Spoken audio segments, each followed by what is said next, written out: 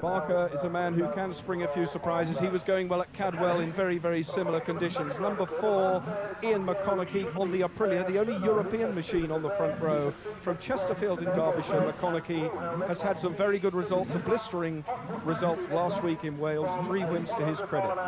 The Honda man, 26 years of age today, Alan Carter, riding number 12. Today is his birthday. Is he going to have the birthday win he needs so desperately to close the gap between himself and Steve Hislop, who will be riding number eight in this race.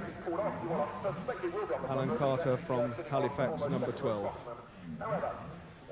Then we have number 10, Martyn Jupp, on the TZ250A Yamaha from Canuck, sixth in the 1989 250cc Super Cup. Martyn Jupp, very calm, collected, and a beautifully prepared machine. And pole position, number 72, John Gainey from Langley Mill in Notts.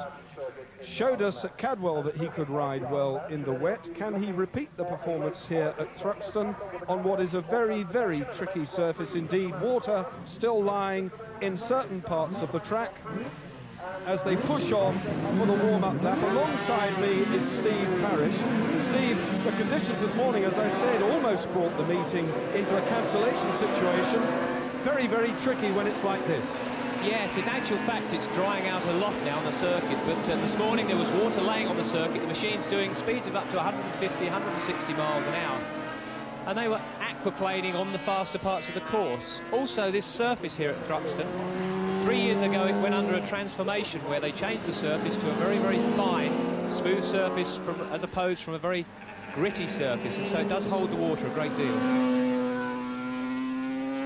Well, Mark Barker from Gainsborough leading the warm-up here. We've seen him go well. In fact, he surprised us and caught us a little bit on the hop at Cadwell in very similar conditions. Yeah, he tends to like these wet conditions, and it is a great leveller for machines, really, because if your machine isn't quite as fast down the straightaways, it's often the case you can make up time under the braking in the wet in these wet conditions. But I don't think any of the riders looking at them sat on the grid, they all have full wet tyres on, the very heavily cut tyres, and uh, you can see now, looking at the shot, that it's drying in many places, and these wet tyres don't work so good in the dry. Let's talk just briefly, Steve, about Kevin Mitchell, of course, was on the second row, Grand Prix campaigner, 14th place and two points last week in Sweden. Second row, what would you have expected a bit more from him? I think I would have expected more, but it's not such a problem being in the second row on a motorcycle. Uh, you can pass very easily on this wide open circuit here at Thruxton. And with his experience, he should uh, benefit from maybe these mixed conditions.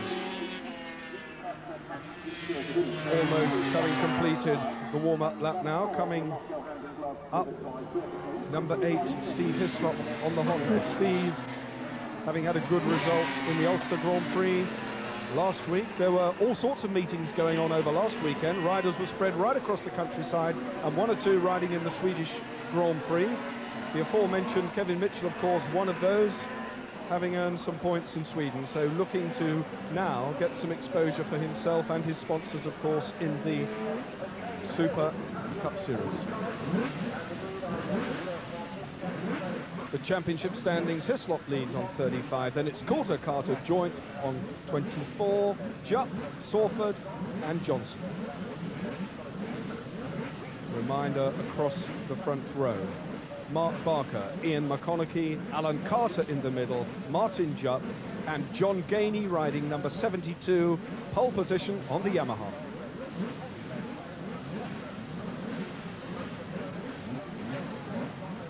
Full race distance will be 12 laps, 28.2 miles of this treacherous circuit. And I have to say that because there is still water, although no rain is falling at the moment. The red light goes to green.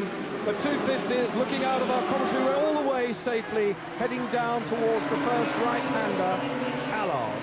Now, this first lap will take them a little while to sort themselves out. They're feeling their way. 71 didn't get away there. That's Royston Keane from Marlborough in Wiltshire. But John Gainey leads, number 72. Alan Carter right with him, tucking on the inside. Woolsey Coulter, number 18. So Coulter on the Aprilia. Coulter, again, Steve, has shown us that he can go well in adverse conditions. As Gainey twitched there and almost lost it, left it wide open. So a bit of enthusiasm too early in the race from John Gainey. Yeah, it's always a problem leading on this first lap because you've got to really decide what the conditions are like. So you're the rabbit that everyone else is chaining. And yes, John Gainey just opened the throttle a little bit too much. The rear end slid out and it put him right off line. He's lost two or three places now. Riders still sorting themselves out. Number 18, the race leader, Woolsey Coulter.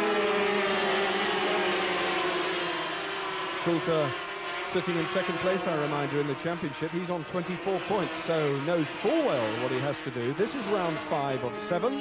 The rounds remaining are Mallory Park and Donington.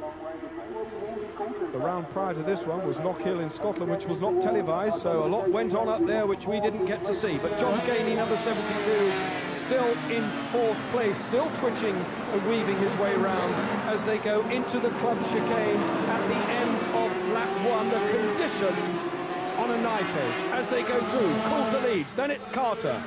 Number 30, Graham Mitchell, then it's John Gainey. So, this is the man in fourth place. And again, number 30, Graham Mitchell, he's a man that we've not seen too much of, but another one good in the wet. Yeah, very much so. But as I said earlier, mixed conditions can change. Uh, a rider that would normally go very well in the dry might not go so well in the wet. But even these wet, heavily cut tyres take a lap or so to get up to working temperature. They need to have some heat in them before they start gripping. But this man, number 18, Woolsey Coulter, doesn't seem to be waiting for that temperature to come up. He's gone.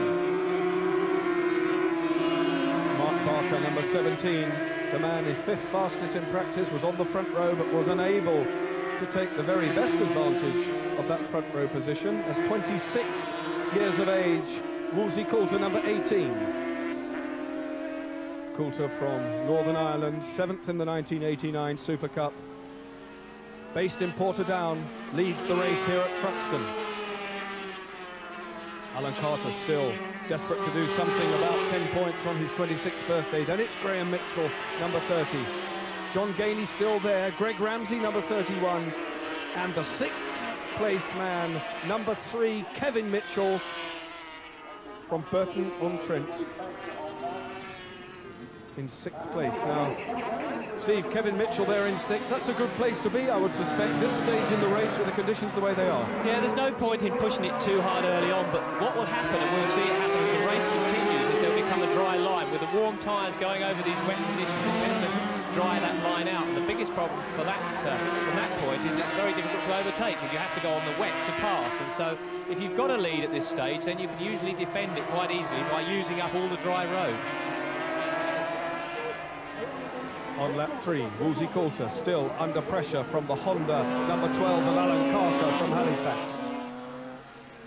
Carter in a good second, but we've seen Carter throw caution to the wind on occasions, but he's riding this one nicely, looking at the dry line, which Steve Parish pointed out, and it's there for you to see as well, very quickly drying out now the circuit. And as the conditions do improve, so Coulter will gradually wind on the coals just a little bit more on the Aprilia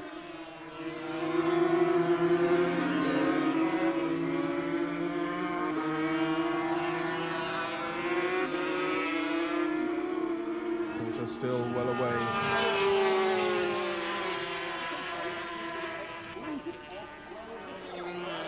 The championship leader, Steve Hislop, is down in 11th spot, so he's got a lot of work to do. He's uh, he's struggling, and he's not anywhere near the leading pack, so he's a long way to come through.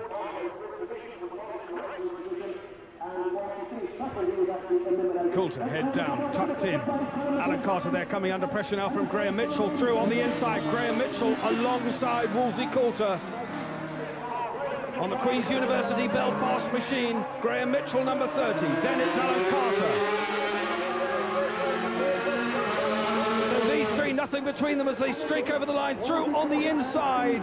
At Allard goes Graham Mitchell. So Mitchell from Preston, a truck driver, storming on now at the head of the pack. 26 years of age, Graham Mitchell, riding number 30. Behind him, number 18, second place, Woolsey Coulter. But Coulter hasn't given up. He's fighting back, and down goes Mitchell. A little bit too much. Down he goes. Machine and rider, well, he's desperately trying to get it fired up again to stay in contention, and he's away. as the marshals the St John's run towards him, but there's damage to the machine. Well, Steve, a problem because he was very keen to get going, but it does seem that the bike wouldn't allow him to continue. Yeah, a case of over-enthusiasm. He went into the corner a little bit hot, lost the front end. Here we see it in slow motion. He's gone and he's tipped it over to the left, and you see the front end just tuck under, there it goes, and down he goes. It's a real problem to save a front end slide on these machines, but I think what happened, he picked the bike up, and unfortunately I would assume that either the clutch lever or the brake lever or the footrest or something was missing.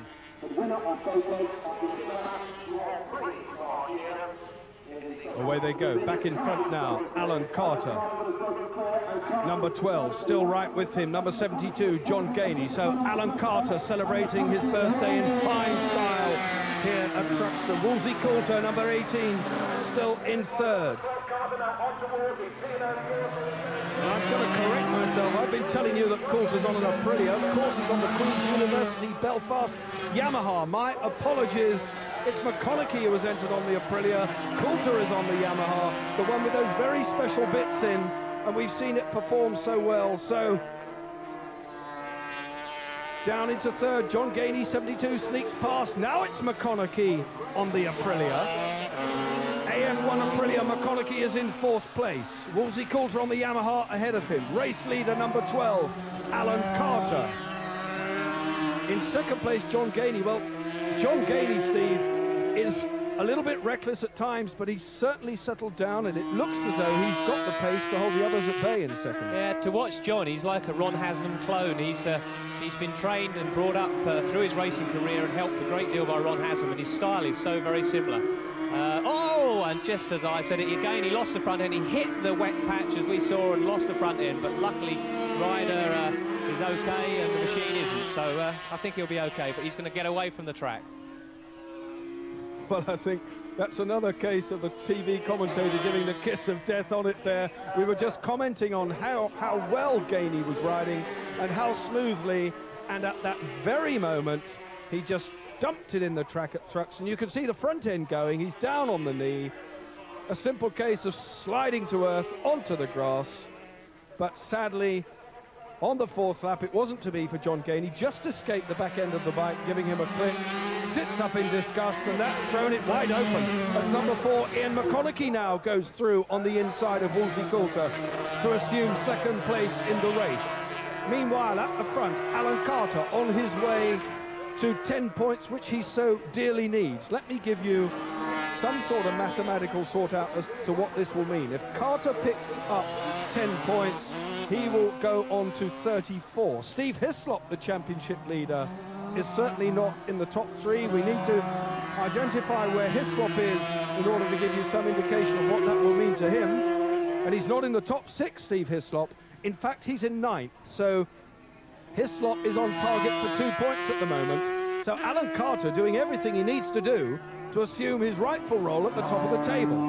Right with him, Ian McConnachie from Chesterfield, and right in there as well in third, Woolsey Coulter from Portadown. Honda leads Aprilia, leads Yamaha, and round the outside goes Ian McConnachie back onto the dry line, chops across the front of Alan Carter. So a brilliant overtaking move. Steve, the Aprilia seemed to have the speed there over the RS Honda. It certainly seemed to, but it makes a lot of difference on how you come out of the corner. But there's very little in, in straight line speed. You can just just see them vying for that front position. It's who can lead the braking to the last moment. And here we've got a situation. Oh, and that was under it. He locked the rear end up. He's going off the track. He's just managed to bring it back on. But Alan Carter, we saw Alan Carter lead the British Grand Prix a few years back and unfortunately fell off with just two laps to go. And he nearly did the same again here today. Let me just compose myself. That was an incredible situation by Alan Carter, who found himself on the outside of the right-hander, going the long way round Ian McConnachie. The back end let go, the foot went down. We'll see it again as it happened. He's on the outside line, and he's forced just a little bit wide, and amazing stuff. Speedway slide the wrong way round, but Carter gets away with it. Steve, no idea quite how he got away with it, but he certainly did. He did real good to get away with that, but just as we were saying, he was off the dry line. The inside line was dry. Alan got off on the wet stuff, and the rear end started to come around, but he did extremely well to hang on to it and even to hold that position. He's now back in third spot, but he'll be charging still. Hislop now up in the seventh position, so he is on the move. Number eight, Steve Hislop, the championship leader, fighting his way up now. So Hislop up to seventh. McConnachie storming round on the Aprilia, 91.19 miles an hour. That is just 10 miles an hour inside, or rather outside, the fastest lap as it stands with a full dry circuit. So they were circulating at a clear 10 miles an hour slower than that in full practice. The circuit obviously drying and the riders beginning to feel the benefit of it. That little slip by Alan Carter detuned him to the extent that he's dropped into third place behind this man, number 18, Woolsey Coulter. So the man from Portadown has got the Yamaha ahead of the Honda UK rider, Alan Carter. He's now in third. Now third place not good enough. Hislop is closing. Carter needs to get up front and he needs to get 10 points. Where he is at the moment, he will pick up eight. That won't quite be good enough because Steve Hislop is closing. Interestingly, uh, Kevin Mitchell has pulled in because he didn't like the track conditions and his poor brother who uh, actually fell off. Graham Mitchell while leading the race obviously didn't have the sense to do so because he went and tipped off. But uh, Kevin has pulled in. And I see Martyn Jupp has come in. I don't know what his problem is but he's retired also. So quite a race of attrition here today. It's who can stay upright well, Martyn Jupp, Steve, if what you say is true, and I can see that he has retired, he was sitting in fourth place in the championship. So it must have been a fairly severe decision for him. There you have the top six. Paul Booler is there in six. Jim Hodson, Johnson Alan Carter, Woolsey Coulter, Ian McConnachie, the race leader. We are two-thirds into the race distance. The circuit drying out here at Thruxton. Round five of the Shell Super Cup 250, and it's all systems go for the top three. Alan Carter now has regained some of that composure in third place. He's riding number 12. He's the second rider in your picture now, and he needs to get past number 18, Wolsey Coulter, who is equally keen to improve on his championship position. Interestingly enough, just then in the last shot, we saw Alan Carter staying on the wet part of the circuit. Well, that's to keep his tyres cool, because on the dry parts, these heavily cut rear and front rain tyres get very, very hot and they start to destroy themselves. So if in a straight line you can get on the wet parts of the circuits, it brings the temperature down and also makes the tyre work a lot better.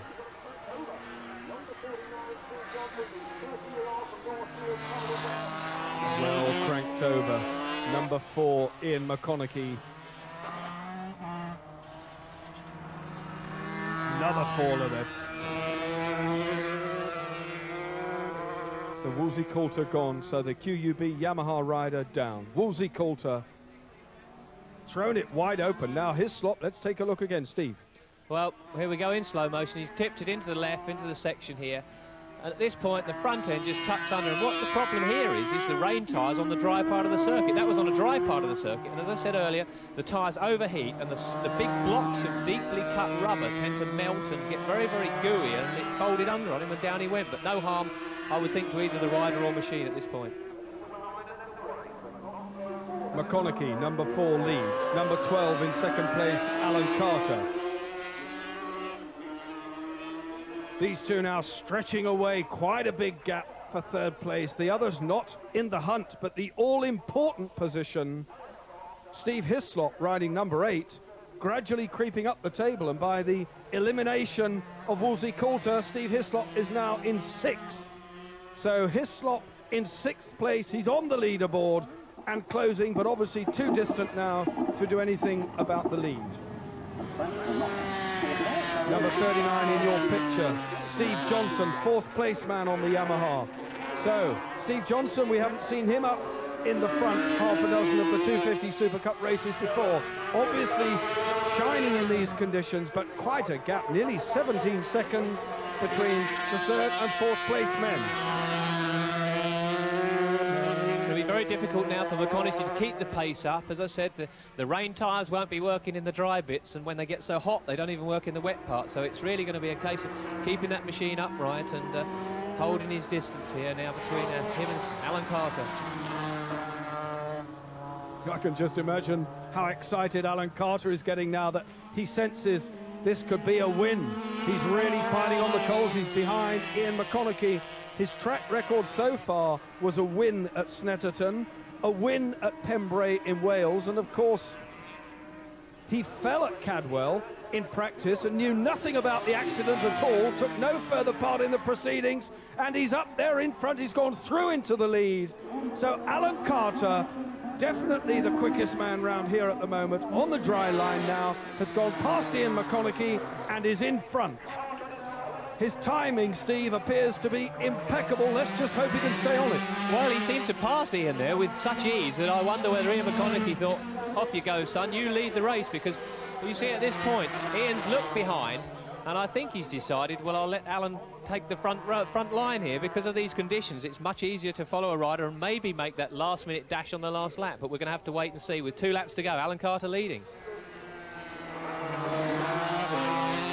RS 250 Honda leads the Aprilia of Ian McConnachie, number four. But McConnachie still hasn't given up. He's round the outside of Alan Carter, fighting back. The battle now just about these two, but further on down the placings, Steve Hislop is storming on. So Hislop, the series leader, really going well as through again on the inside goes McConnachie. So McConnachie hasn't given up, Steve. He's fighting back and the race now really alight between these two. McConnachie, the back end on the Aprilia, stepping out there on the outside of the RS Honda Alan Carter's. So swapping and chopping inside and out. There's nearly a dry line all the way round, Steve, but just look at them go, the Aprilia on the wet. Alan Carter tucked down, sweeping around the outside again. It just seems that there are places where the Honda has the edge over the Aprilia, and other places, and again on the brakes, coming through again. Well, this is great stuff. Oh, this is uh, McConnachie's on the outside, he's on the wet bit, just as Alan Carter was earlier. Alan's decided I'm taking the inside line, puts the power on, the rear end starts to slide, but uh, he's on the right line. And they're starting the last lap now, so Alan Carter just needs to keep that machine upright. His Hislop is up into fifth position, so the race is really hotting up.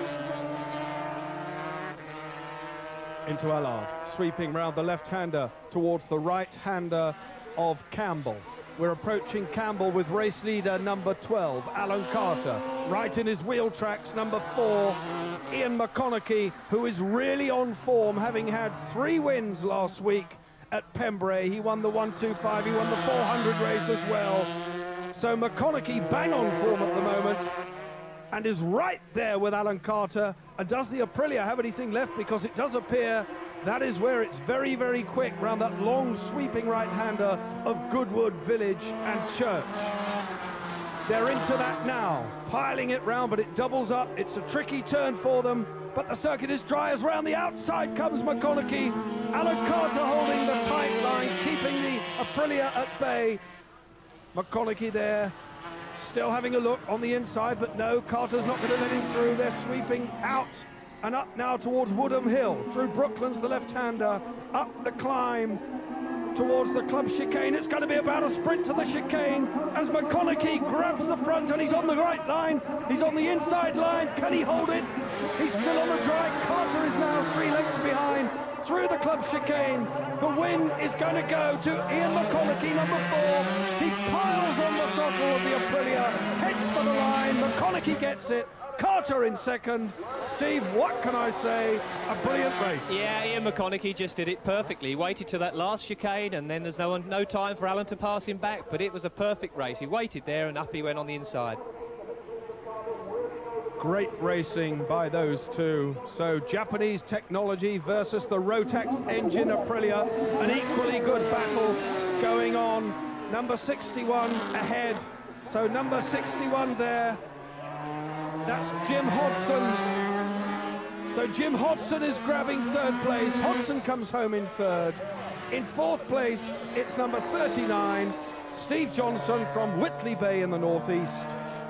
But the first and second, delighted. Ian McConnachie, number four, got it. Alan Carter, number 12, was second. Great win in very difficult conditions there at Thruxton. Ian McConnachie winning the fifth round of the 250 Championship, Carter second, Hodson third, and Steve Hislop, the championship leader, managed fifth place. So all that means that Hislop's championship lead is cut by only a point, eight points uh, over Alan Carter, and there are two rounds remaining.